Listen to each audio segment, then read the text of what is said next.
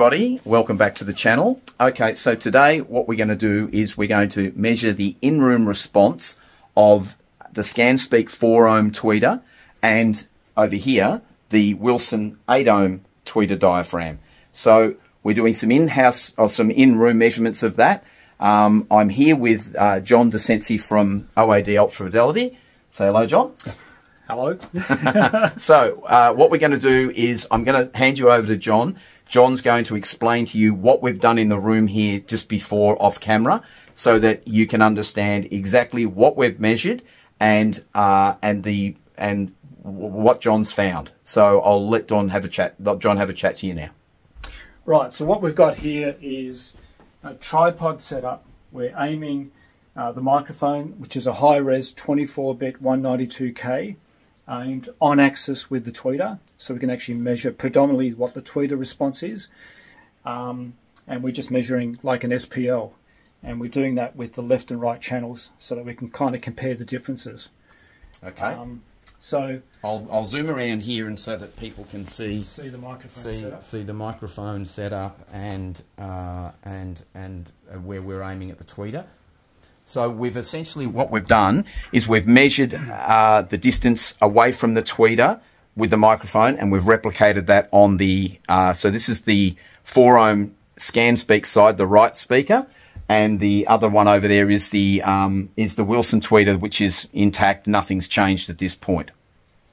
Okay, so I'll flip the microphone around and then I'll let John run another scan. Um, and all right, well, we can run a scan even, and we'll do that on camera so that you can actually literally see what we're doing with the uh, and how we've measured it. I probably should add we're we're using the free um, uh, Room EQ um, software, which is available freely online, um, to do our tests, which is um, like an industry standard program these days. Brilliant. Okay. okay. Well, let's let's uh, turn the camera around, and then we'll let John uh, do a sweep for you. So we'll just, well, actually, before we start, um, we've already done a scan here. So this is actually the uh, the ScanSpeak um, 4 ohm uh, replacement diaphragm scan, and you can see the response here of the tweeter. Uh, we don't know quite where the crossover frequency is. Um, unfortunately, Wilson don't publish those particular specifications. Um, and if we pop down to an earlier scan that we did with the the left channel, which is the original Wilson Audio ScanSpeak um, tweeter, um, you can see that um, there's not a great deal of difference. The um, the the replacement diaphragm does have these other spikes down here, but that's more to do with in-room uh, reflections. So you'll just need to ignore that. But for the for the most part, um, the waveform, if I can just find the mouse, the waveform along here is pretty much identical uh, for both left and right channels. Um, so we'll just do another sweep um, and we'll just click start.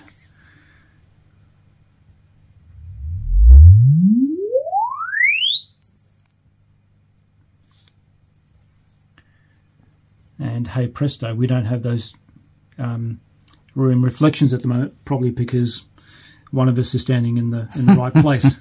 yeah, true. And again, um, if we compare uh, the new scan with wow, that almost looks identical. Almost identical, um, which is quite surprising considering that they're completely different impedances. Um, so, so that green, the green one for everybody is the is the four ohm ScanSpeak uh, diaphragm, and then if John overlays the or brings in the that, that so that color there is the original Wilson 8 ohm uh, in-room response. Look how close they are. Holy moly.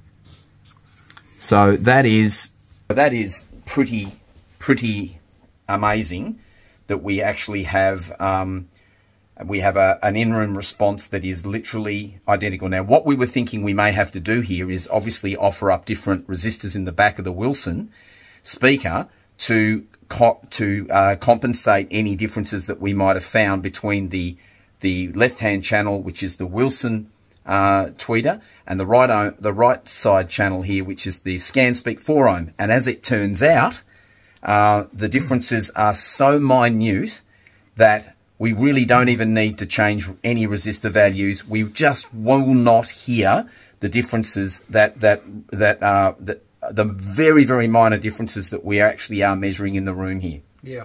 Well, actually, in fact, um, we're measuring a maximum of about 0.4 of a dB difference, which could be, and most probably is, just um, a millimetre or two out with the microphone um, sort of setup.